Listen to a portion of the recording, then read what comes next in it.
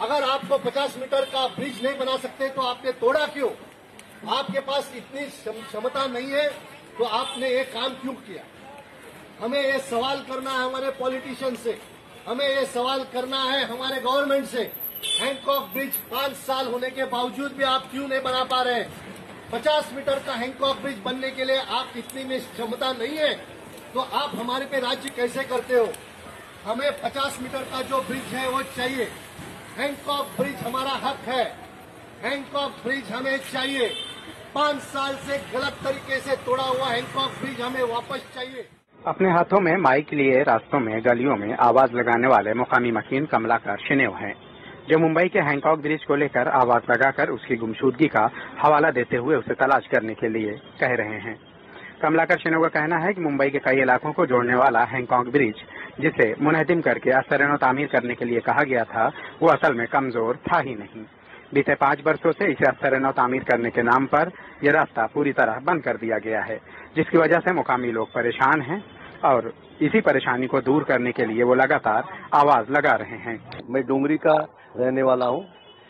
ये ब्रिज तोड़ने के पहले से मैं इसके क्यों तोड़ रहे इसके पीछे लगा था और जब पता चला कि ये ब्रिज बिल्कुल डेंजर नहीं था बल्कि इनको एसीडीसी करने के लिए इन्होंने ये तोड़ा है तो पब्लिक को इन्होंने बेवकूफ़ बनाया कि ये डेंजर है करके।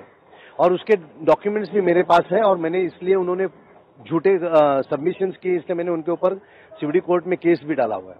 अब जहाँ तक हैंकॉक बीच का सवाल है, और भी उसको काफ़ी टाइम लग सकता है, इसलिए कि आपने देखा होगा कि सामने जो रेलवे के कैबिन्स हैं या झाड़ है, वो उनको निकालना है।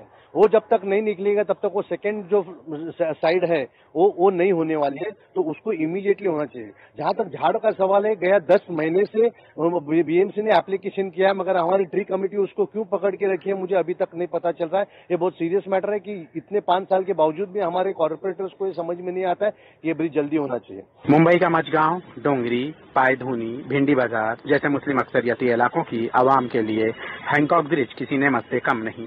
बीते पाँच वर्षों से यहाँ की आवाम को दस मिनट का सफ़र तय करने के लिए मौजूदा वक्त में डेढ़ घंटे का वक्त लगता है।